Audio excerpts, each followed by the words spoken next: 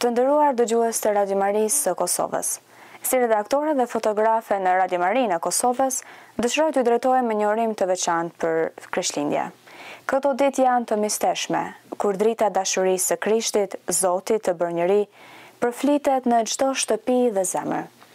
Në rolin tim si redaktore jam lutur për ju dëgjues të dashur, Që të gjithë të keni një Krishtlindje të mbushur me paqe dhe ngrohtësi.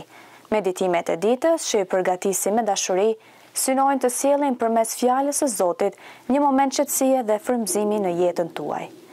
Informacionet që ju sjellim nga jeta e Kishës në Kosovë dhe diasporë janë pjesë e një misioni më të madh dhe dëshirojmë që këto informacione të sjellin frymëzim dhe unitet.